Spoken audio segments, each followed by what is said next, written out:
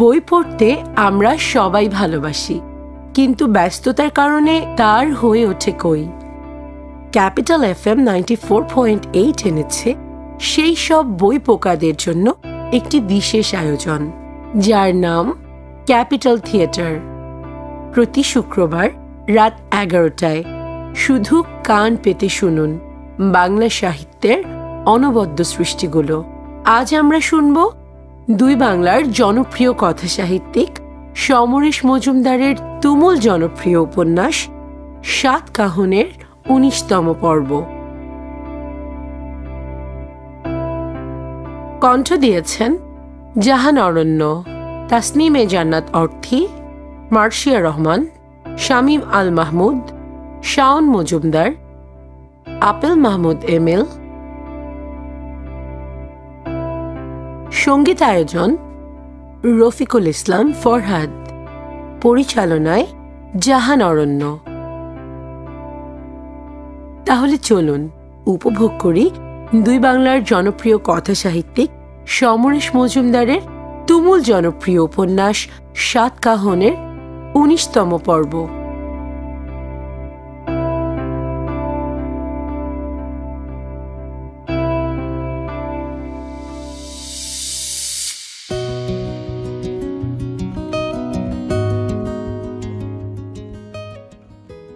দীপা সত্যি কথা বলল। রমলা সেনের কাছে। অমরনাথ এবার যেন একটু স্বস্তি পেলেন। সেই সকাল থেকে তোর জন্য বসে আছি। কোথায় যাচ্ছিস? হোস্টেলে বলে যাবি তো। বন্ধুর বাড়ি বললে কিছু বোঝা যায়? ওর কোনো আত্মীয় আছে নাকি জলপাইগুড়িতে? না আত্মীয় নেই।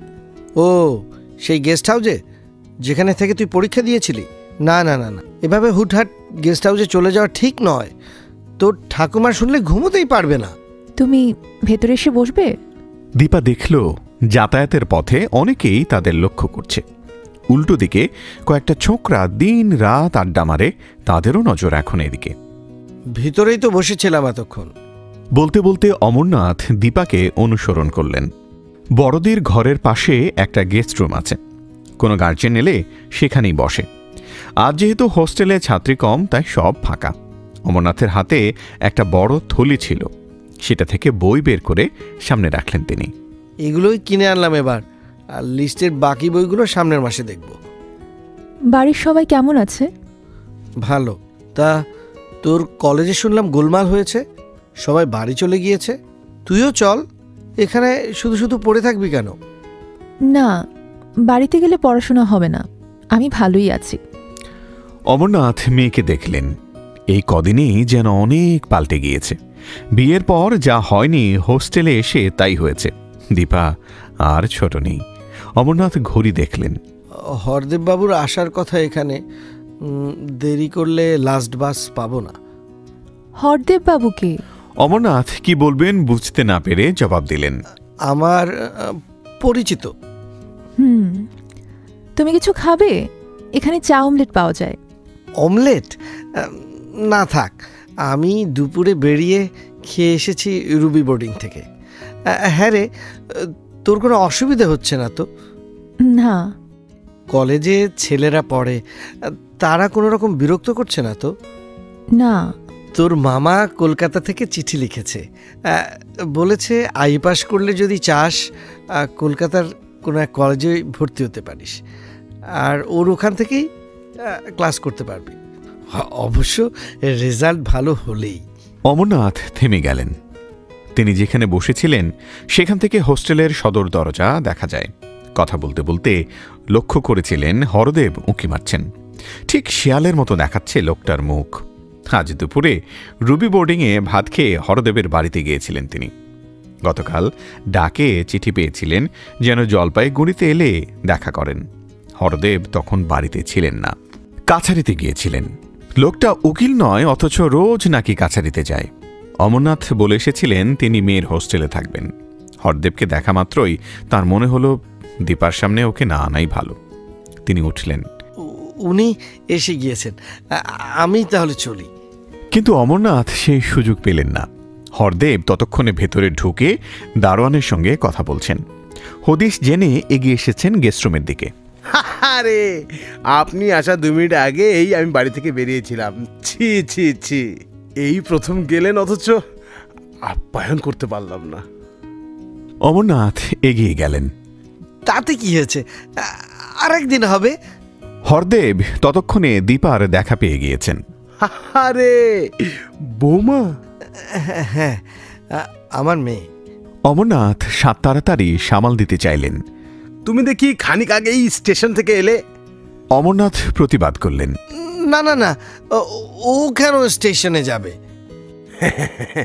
তাহলে আমি ভুল করেছি। তা পড়াশোনা কেমন হচ্ছে? এবারও উত্তরটা অমরনাথ দিলেন। আর পড়াশোনা রাজনীতি করেই কলেজটাকে বন্ধ করে দিল নেতারা। স্বাধীনতার আগে ব্রিটিশদের বিরুদ্ধে লড়াই করার একটা কারণ ছিল। আর স্বাধীনতা পেয়েই নিজেদের মধ্যে খোয়াখুয়ি শুরু হয়ে গেল। বলুন তো। ওইসব ব্যাপারে মাথা ঘামিয়ে লাভ নেই মা। ছাত্র ছাত্রীদের তপস্যা হলো পড়াশোনা করা। টাকা পয়সার চিন্তা নেই যখন মন দিয়ে ওইটাই করো। ভালোই হলো আলাপ হয়ে মাঝে মাঝে খোঁজ নিয়ে যাব হ্যাঁ? দীপা চুপচাপ দাঁড়িয়েছিল লোকটা তাকে বৌমা বলল কেন? বৌমা বলে শ্বশুর বাড়ির লোকজন। তাদের কারও সঙ্গে তো অমরনাথের সম্পর্ক থাকার কথা নয়। লোকটা তাকে স্টেশনও দেখেছে। সে অমরনাথের কাছে নিজে থেকে মিথ্যে বলেনি, কিন্তু আগ বাড়িয়ে পুরো সত্যিটাও জানায়নি। রাস্তায় একটি অল্প বয়সী মেয়েকে দেখে যেন বৃদ্ধ মনে রাখে তার মানসিকতা কী রকম। আর টাকা পয়সার কথাটাই বা বলল কেন? সেটা তো একদমই অমরনাথের ব্যাপার। দীপা ঠিক বুঝতে পারছিল অমরনাথ লোকটাকে এখান থেকে সরিয়ে দিতে চান, কিন্তু স্বাচ্ছন্দ্য বোধ করছেন না তিনি। যাওয়ার আগে জানিয়ে গেলেন যে, সামনের রবিবার বাজার করেই চলে আসবেন। আর ইতিমধ্যেই যদি কলেজ দীর্ঘদিনের জন্য বন্ধ হয়ে যায়, তাহলে চিঠিতে যেন সেটা জানায়। কলেজ বন্ধ থাকাকালীন দীপা যেন হোস্টেলের বাইরে না বের হয়। এটা ভালো দেখায় না এবং তিনি নিজেও পছন্দ করেন না। বাইরে বেরিয়ে একটু স্বস্তি পেলেন অমরনাথ। আপনি দীপাকে বৌমা বলে ডাকবেন না। তাহলে ও সন্দেহ করবে। অমরনাথের দিকে অবাক হয়ে তাকালেন হরদেব। মানে? হাঁটা শুরু করে অমরনাথ বললেন প্রতুলবাবুর ব্যাপারটা ও মন থেকে মুছে ফেলেছে। কি আশ্চর্য! মুছে ফেললেই হলো? এখন তো ওর ঘন ঘন যাওয়া দরকার ওখানে। কেন? আহা! আপনাকে আর কি করে বোঝাবো হ্যাঁ? হাজার হোক আপনার মেয়ে ওই বাড়ির বউ।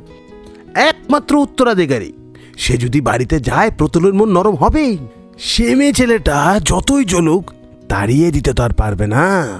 ঘন ঘন গেলে পুরো সম্পত্তি হাতে এসে যাবে। কিন্তু এই কথাটা আমি ওকে বলব কি করে?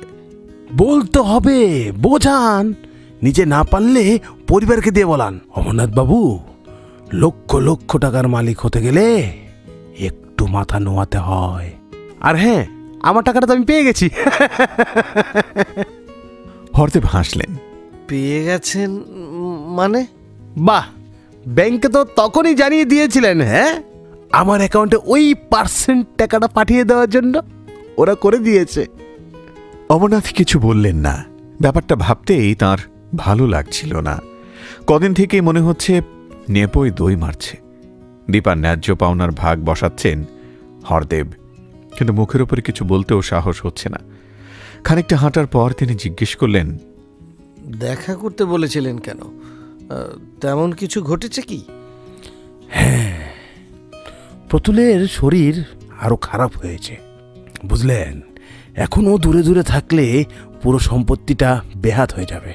আচ্ছা আপনার লাস্ট বাস কখন বলুন তো? বেশি দেরি নেই ঘাট পার হতে হবে। আর তিস্তার চরটাও কম নয়। বার্নিশে পৌঁছতে সময় লাগবে। কি ব্যাপার বলুন তো?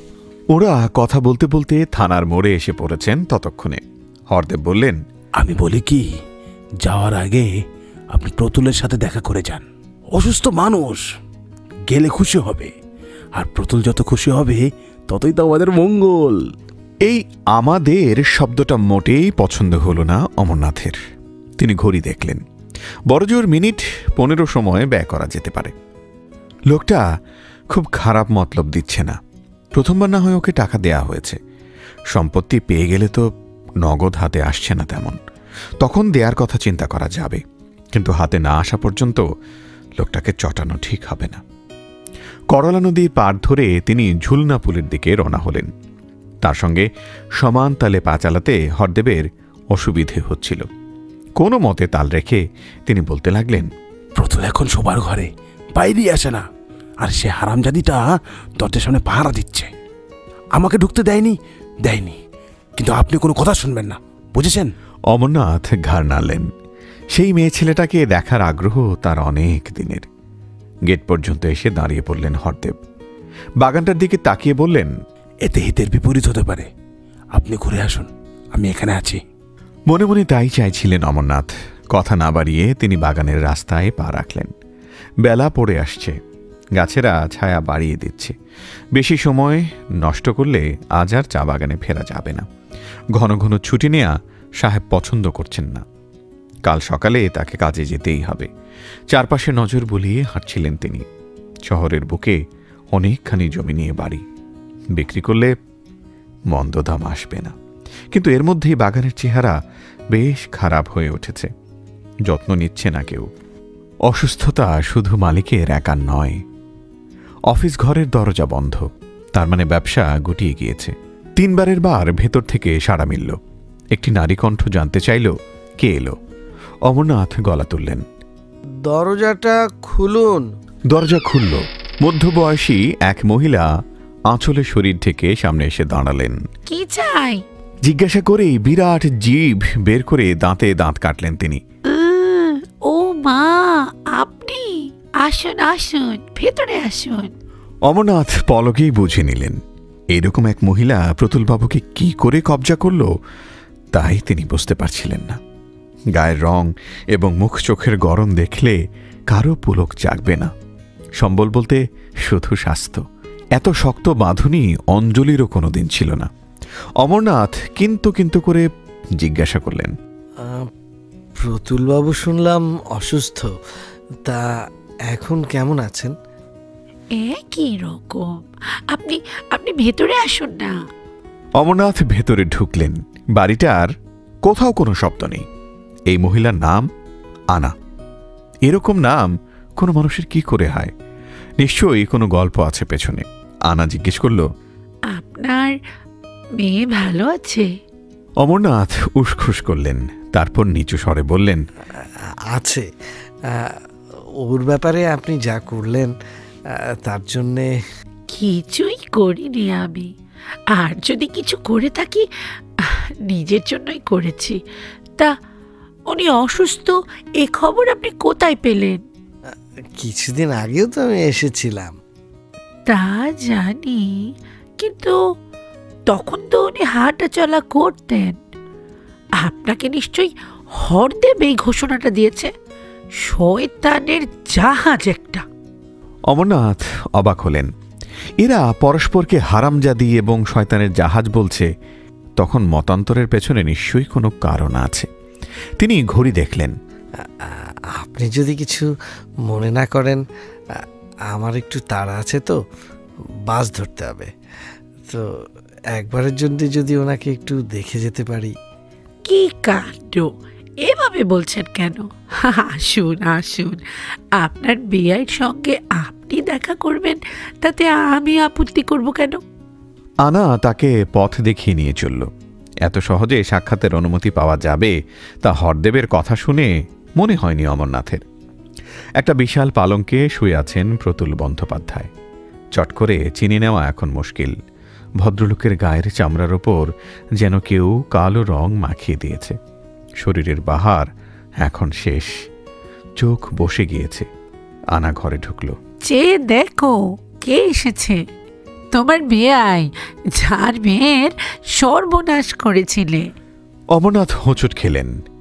আনা যখন কথা শুরু করেছিল তখন মনে হয়েছিল বাইরের কেউ অসুস্থ স্বামীর কাছে এলে স্ত্রী এভাবেই পরিচয় করিয়ে দেয়। আনা এখন তাহলে সেই ভূমিকা নিয়ে নিয়েছে। কিন্তু শেষ চারটে শব্দ কানে যাওয়া মাত্রই ধারণাটা পাল্টে গেল। প্রতুলবাবু কোনো মতে মুখ ফেরালেন। দেখেই বোঝা গেল অমরনাথকে চিনতে তার কোনো অসুবিধে হচ্ছে না। অমরনাথ বিছানার পাশে রাখা চেয়ারে বসে জিজ্ঞেস করলেন কি হয়েছে আপনার? এখন কেমন বোধ করছেন? প্রতুলবাবু মাথা নাড়লেন প্রায়শ্চিত্ত করছি। পুরোটাই করতে চাই যাতে পরজন্মে কোনো দায় না থেকে যায়। বৌমা কেমন আছেন? হ্যাঁ? গলার স্বর খুবই দুর্বল কিন্তু কথা বলার ধরনে বোঝা যাচ্ছে তার বোধ শক্তি চমৎকার রয়েছে। অমরনাথ বললেন ভালো কিন্তু ডাক্তার কি বলেছে? রোগটা ধরতে পেরেছে কি? প্রতুলবাবু মাথা নাড়লেন। পেরেছে। এরপর তিনজনেই কিছুক্ষণ চুপচাপ অমরনাথ আনাকে জিজ্ঞেস করলেন। কিন্তু এর আগে তো দেখে গেলাম হাঁটাচলা করছেন লাঠি দিয়ে। এখন কি? ধরে ধরে বাথরুমে নিয়ে যাই। ছাই ফেলতে তো ভাগা কুলো আছেই জলপাইগুড়ির সব ভালো ভালো ডাক্তার দেখানো হয়ে গেছে। কত করে বললাম কলকাতা চলো। তা উনি নড়বেন না। অসুখটা কি? প্রথমে তো সন্ন্যাস রোগ হতে হতে হয়নি। একদিকে কিছুটা পড়ে গিয়েছিল তা আমি সামলে নিয়েছিলাম। এখন শুনেছি পেটে গলায় ঘা হয়েছে পাতলা ঝাল নুন ছাড়া খাবার দিতে হচ্ছে। আর কেউ আসেন না? মানে ওনার দাদা? দুদিন এসেছিলেন। দু ভাইয়ের ঝগড়া দেখে আমি আসতে নিষেধ করে দিয়েছি। অসুস্থ মানুষকে দেখতে আসছেন নাকি সম্পত্তি হাতাতে হ্যাঁ? অমন আসার কোনো দরকার নেই। ওর বন্ধু হরদেব। শয়তানটা আসতো আর সারাক্ষণ কানের কাছে গুচুর গুচুর গুচুর গুচুর করতো। দিন রাত বদ মতলব দিত ওকে। আনা গড়গড় করে বলে যাচ্ছিল। এই সময় অমরনাথের কানে প্রতুলবাবু ছিনছিনে গলায় বললেন, হরদেবের সঙ্গে আপনার দেখা হয় হ্যাঁ? হরদেবের সঙ্গে? অমরনাথ ঢোক গিললেন। হরদেব সম্পর্কে আনার মনোভাব তিনি জেনেছেন। এমন লোকের সঙ্গে দেখা সাক্ষাৎ হয় জানলে এই বাড়িতে ঢোকা বন্ধ না হয়ে যায়। তিনি দুদিক বাঁচিয়ে বললেন সেই যে যেদিন এসেছিলাম সেদিন দেখা হয়েছিল। তাকে এড়িয়ে চলবেন হ্যাঁ? দুমুখ সাপ। প্রতুলবাবু চোখ বন্ধ করলেন। একদিনে চৈতন্য হলো অনেক বলে কয়ে ব্যবসা থেকে ভাগিয়েছিলাম। আনা বিজয়িনীর গলায় কথাগুলো বলল। অমরনাথের কৌতূহল হলো। তিনি তো একসময় খুব বন্ধু ছিলেন প্রতুলবাবুর যা শুনেছিলাম। ঠিকই, এ বাড়িতে আসতো শুধু বদ মতলব নিয়ে। আমার শরীরেও দু দুবার হাত দিতে চেষ্টা করেছে। ওর বিয়ে করা বউয়ের সাথেও পষ্টি নষ্টি করতেন। তারপর যেই এনে অসুখে পড়লেন, অমনি আমার কানে মন্ত্র দিতে এলেন। যদি আমি ওর সঙ্গে হাত মেলাই তবে একেবারে রাজধানী করে দেবেন বুড়ো শিয়াল। অমরনাথ মনে মনে শঙ্কিত হলেন। হরদেবের চরিত্রের এই দিকটা তিনি জানতেন না। এই লোক স্বার্থের জন্য অনেক দূর যেতে পারে। ওকে দীপার হোস্টেলে দেখা করতে বলে তিনি অন্যায় করেছেন। আনা ঘর থেকে বেরিয়ে যাচ্ছিল। যাওয়ার আগে বলে গেল আমি না আসা পর্যন্ত উঠে যাবেন না হ্যাঁ? হাজার হোক কুটুম মানুষ। অমরনাথ ঘড়ি দেখলেন। সন্ধ্যের সময়েও নৌকো ওপারে যায়। তখন আর সরাসরি চা বাগানে যাওয়ার বাস পাওয়া যাবে না। ধূপগুড়িতে গিয়ে বদল করতে হবে। কিন্তু প্রতুলবাবুকে একা পাওয়ার সুযোগ তো আর পাওয়া যাবে না। তিনি বললেন আপনার ব্যবসাপাতির কি খবর? হাতটা অসহায়ভাবে নাড়লেন প্রতুলবাবু। সব শেষ। এখন শুধু দিন গুনছি। এইভাবে বেঁচে থাকার কোনো মানে হয়? এই কথা কেন বলছেন? চিকিৎসা নিশ্চয়ই আছে। চাই আছে। দিন রাত ওষুধ গিলছি। কি হচ্ছে কিন্তু মরতে আমার ইচ্ছে হচ্ছে না। সত্যি বলছি চারিদিকে এত কিছু ছড়ানো আমার এত টাকা আর আমি অসময়ে মরে যাব। মৃত্যুর কথা চিন্তা করবেন না। করছি কি সা- সাধে? ওই যে মেয়ে ছেলেটা আমার সেবা করছে। আজকাল তো ওর শরীরটাকেও এক মিনিট ছুঁতে পারি না। সমস্ত শরীরে ব্যথা আমার। কত কি ভোগ করার ছিল মশাই? আর হলো না। প্রতুলবাবুর চোখের কোলে উপচে জল গড়িয়ে এলো। স্তম্ভিত হয়ে গেলেন অমরনাথ।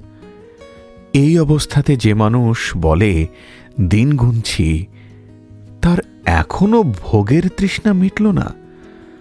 প্রায়শ্চিত্ত আর কবে হবে?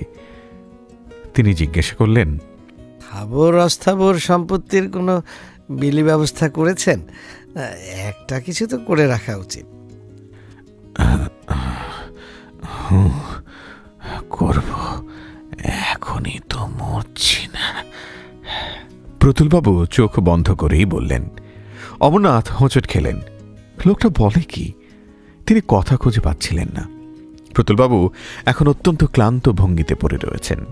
হঠাৎ মনে পড়ে যাওয়াতে অমরনাথ জিজ্ঞেস করলেন আমি মনে করতে পারছি না আপনাকে জিজ্ঞেস করেছি কি না ওই যখন আমার মেয়ে জলপাইগুড়িতে পরীক্ষা দিতে এসেছিল তখন কি আপনি ওর সাথে দেখা করতে গিয়েছিলেন? প্রতুলবাবুর মাথা ঈষৎ নড়ল। অমরনাথ বুঝলেন উনি হ্যাঁ বললেন। তাই জিজ্ঞেস করলেন আপনার কি কিছু বলার ছিল? প্রতুলবাবু বললেন ছিল তবে এখন আর নেই। অমরনাথ উঠে দাঁড়ালেন। এরপর আর ফেরার উপায় থাকবে কিনা সন্দেহ। তিনি বললেন যদি কোনো প্রয়োজন হয় খবর পাঠাবেন।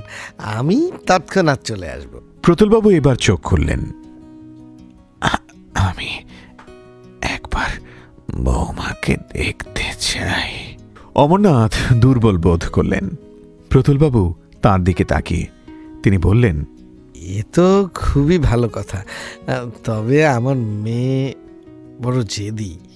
প্রতুলবাবু হাসলেন। এককালে মাংস কেনার আগে কাশিটাকে দেখতাম।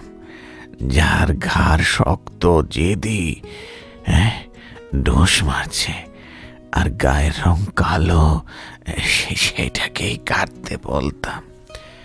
জেদিদের পোষ মানাতে আনন্দ পেতাম। আজ ক্ষমতা নেই। বিছানায় পড়ে আছি। কিন্তু আপনার মেয়েকে তো ভালো করে মনেও নেই। এই কবছরে সে নিশ্চয়ই অনেক বড় হয়েছে। আমার এই বিষয় সম্পত্তির সে একমাত্র উত্তরাধিকারিণী। আর একজন তো পাগল হয়ে হাসপাতালে। আমি ওর সঙ্গে তাই একটু কথা বলতে চাই। যদি সে সারা জীবন বৈধব্য পালন করে তাহলে ঘন ঘন নিঃশ্বাস নিতে লাগলেন প্রতুলবাবু। অমরনাথ পাথরের মতো দাঁড়িয়েছিলেন। পেছনে শব্দ হলো। আনা ছোট একটা ট্রেতে চা আর মিষ্টি রেখে সামনে এসে দাঁড়াল। নিন নিন এগুলো খেয়ে নিন অমরনাথের যেন সম্ভিত ফিরল। না না আমার খুব দেরি হয়ে গেছে। আরও একটু হোক। আচ্ছা আপনি না হয় বাইরের ঘরে বসেই খাবেন। রোগীর সামনে। আনা ট্রে নিয়ে বেরিয়ে গেল। অমরনাথের আর দাঁড়াতে ইচ্ছে করছিল না। তিনি প্রতুলবাবুকে বললেন আচ্ছা আজ তাহলে চলি। নমস্কার। প্রতুলবাবু মাথা নাড়লেন। বাইরের ঘরে পৌঁছে অমরনাথ দেখলেন টেবিলে চা মিষ্টি রেখে আনা দাঁড়িয়ে আছে। তিনি বললেন এইসবের কি দরকার ছিল? বাড়িতে যখন অসুস্থ মানুষ বাহ কুটুম শুকনো মুখে ফিরে যাবে। আমি তাহলে চা খাচ্ছি। দাঁড়িয়ে দাঁড়িয়েই চা খেয়ে নিতে চাইলেন তিনি কিন্তু আনা বললেন ও মা বসে কান হেঁটে এ বাড়ির অকল্যাণ হবে। অগত্যা বসলেন অমরনাথ। আনা খানিকটা তফাতে দাঁড়িয়ে আনা জিজ্ঞেস করল আপনার মেয়ে তো জলপাইগুড়িতে থেকেই পড়ছে। চায়ে চুমুক দিয়ে মাথা নেড়ে হ্যাঁ বললেন অমরনাথ। আনা বলল আপনাকে কয়েকটা কথা বলব। অমরনাথ তাকালেন। আনা হাসল। ওর অবস্থা তো বুঝতেই পারছেন। এখন শুধু দিন গোনা। এত বিষয় সম্পত্তির বিলি ব্যবস্থা কিছুই করছেন না।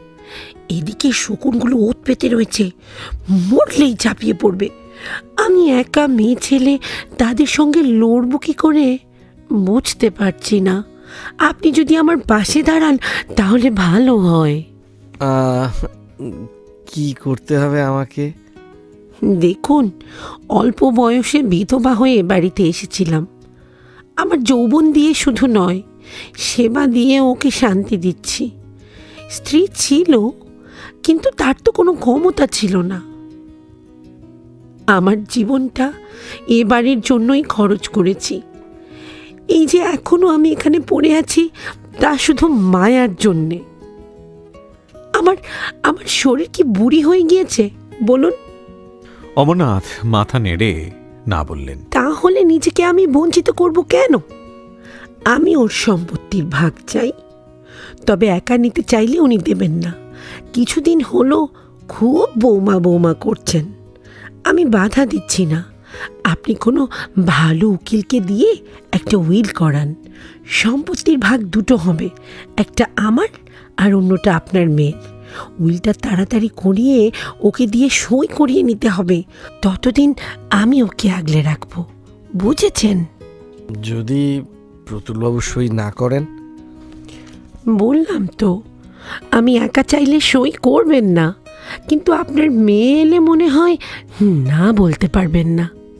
কিন্তু উনি তো শর্ত দিয়েছেন যে দীপাকে বিধবা থাকতে হবে। থাকবে?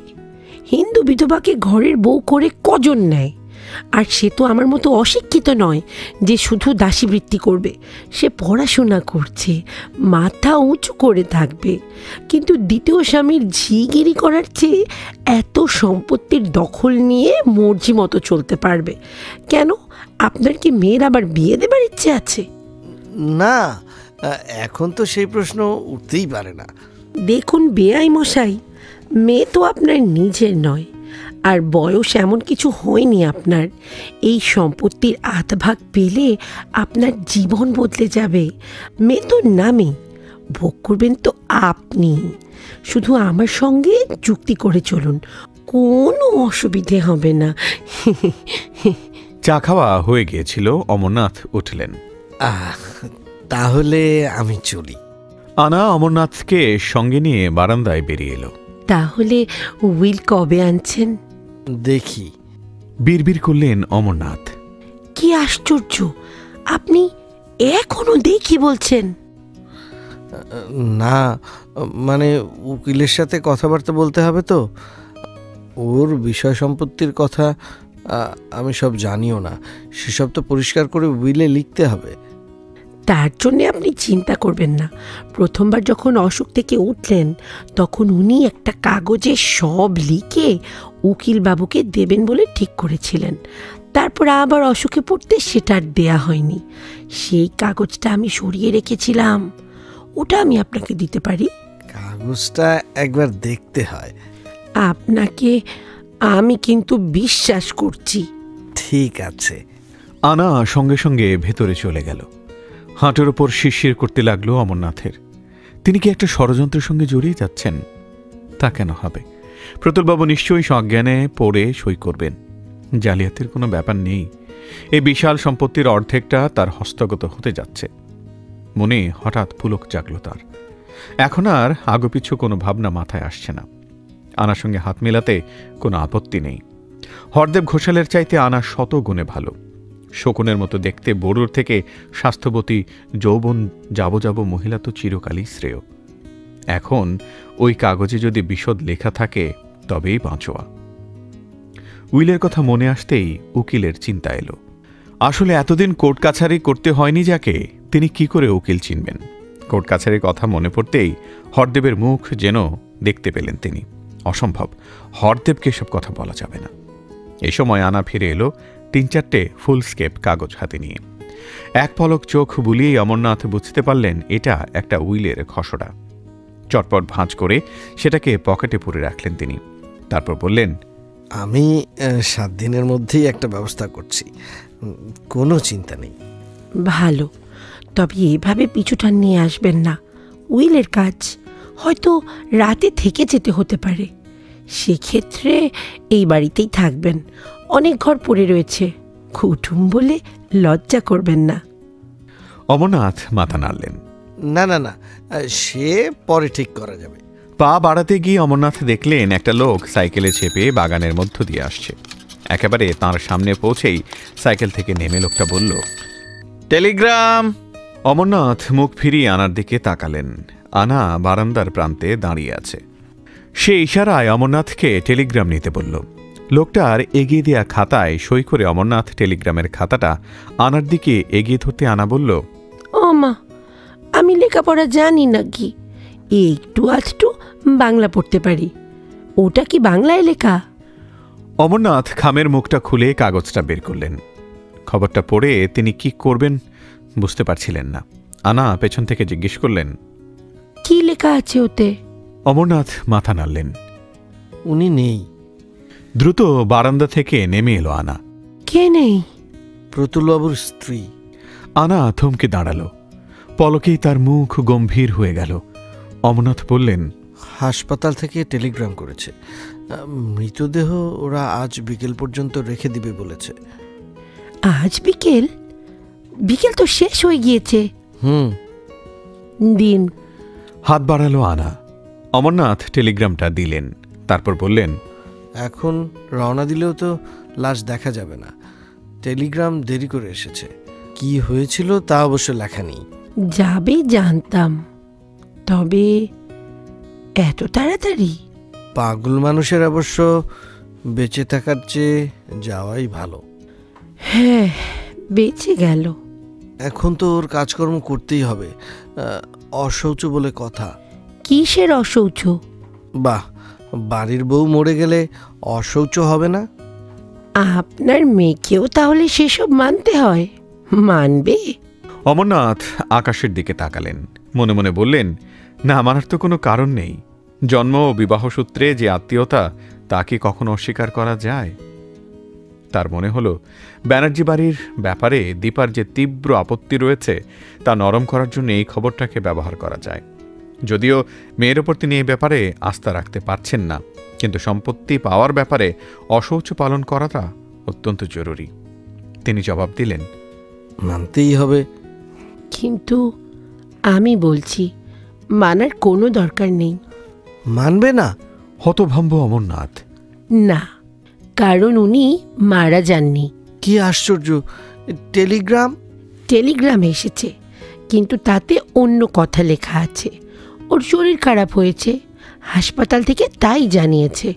মারা যাওয়ার খবর আপনি আর আমি ছাড়া কেউ জানবে না। যদি তাই হলো তাহলে অসহ্য কিসের? এসব তুমি কি বলছো? আর আপনি নয়। কাজের ছেলে মেয়েকে তুমি বলা উচিত। অমরনাথের অবচেতন মন জানিয়ে দিল। ঠিকই বলছি।